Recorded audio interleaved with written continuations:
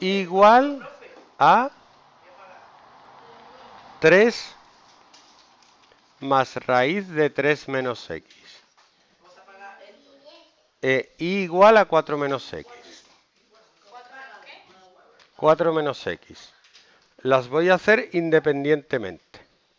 ¿Cómo se representa una función que tiene raíz? Voy a hacerlo independientemente y luego ya veré la ecuación.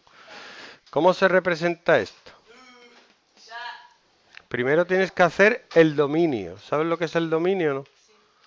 Hemos hecho dominios. El dominio de una función con raíz se consigue igualando lo que dentro de la raíz cuadrada o de índice par, porque si fuera de índice impar el dominio sería todo r mayor o igual que 0. El 3 pasa restando. Y cuando te queda así, cambia el signo de cada cosa. Entonces el dominio de esta función es desde menos infinito hasta 3.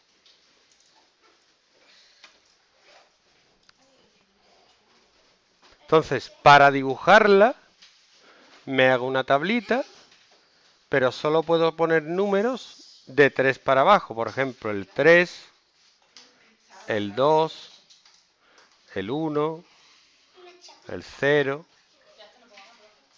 ¿Por qué no? Dios. Cuidado. Para 3 sería 3 más raíz de 3 menos 3, que es 0. 3 más raíz de 0 es 3. Para 2 sería 3 más raíz de 3 menos 2. Esto sería 3 más raíz de 1. 3 más 1, 4. Para 1 sería 3 más raíz de 3 menos 1. 2. Sería 3 más raíz de 2. ¿Cómo que no se puede hacer? ¿Cómo que no se puede hacer? Raíz de 2, por Dios. Raíz de 2 es 1,41 y punto. No se puede hacer, venga, no se puede hacer. Estamos. No se, raíz de 2 no se puede hacer. ¿Por qué? Porque yo lo digo. No, pues lo dice mal, que aprenda a hablar, que es un mal profesor, que aprenda a hablar. Ni las cosas se van, ni no se puede hacer, ni nada. Que hable bien, que hable apropiadamente, que aprenda a hablar, que hay que aprender matemáticas y lengua, las dos cosas, no una cosa nada más. No se puede hacer. Se puede hacer. Otra cosa es que hay números que te facilitan el trabajo. Por ejemplo, el menos 1. Pero como tú no quieres poner más, ¿qué pasa con el menos 1? Otra vez que, otra vez que no se... ¿Pero qué dice? Deja las drogas. Deja las drogas. 3 más 2, 5. Este te sale un número que según tu profe se puede hacer.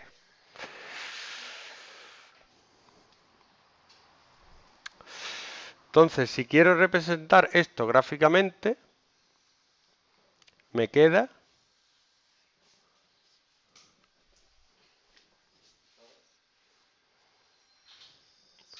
uno, dos, tres, cuatro, cinco, seis.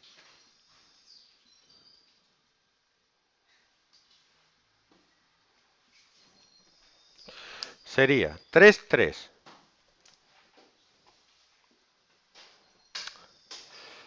Dos, cuatro. 1, 4,41. 0, no sé por qué no lo he calculado. Menos 1, 5. Me queda una cosita así. ¿Vale?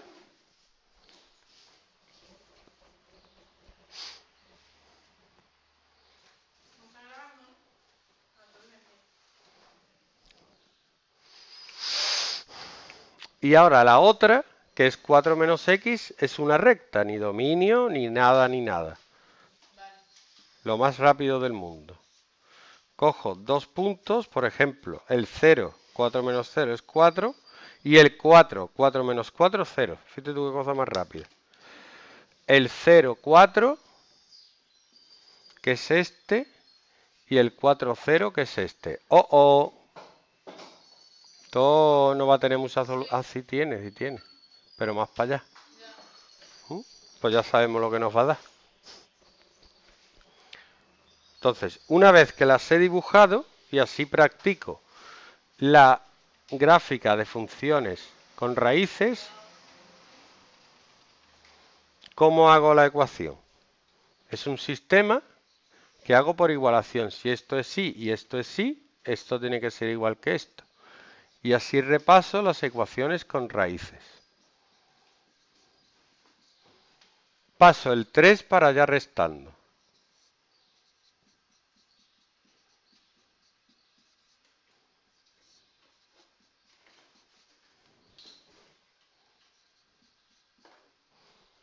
Y ahora para simplificar la raíz, elevo los dos miembros al cuadrado. Aquí nada se va, las cosas se simplifican. Aquí se habla con propiedad.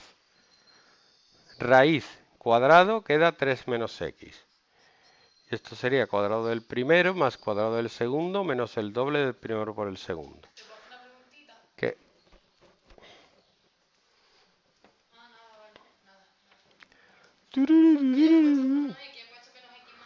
Es lo mismo, pero te va, te vas a equivocar. ¿Sí? Si lo pones así, te vas a equivocar, ponlo así.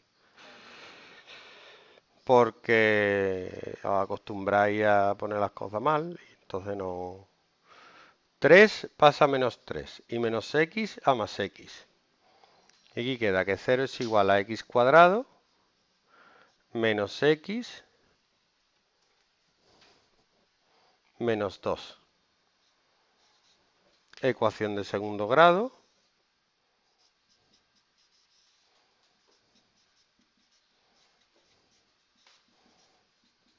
Me queda 1 más menos 3 partido 2.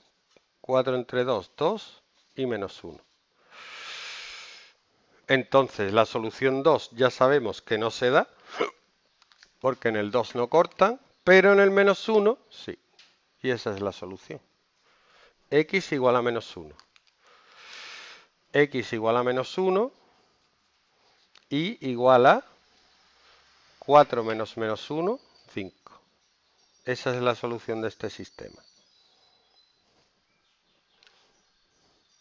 Si tuviera que comprobarla, la del menos 1 sé que me da. La del 2, ¿por qué no me da?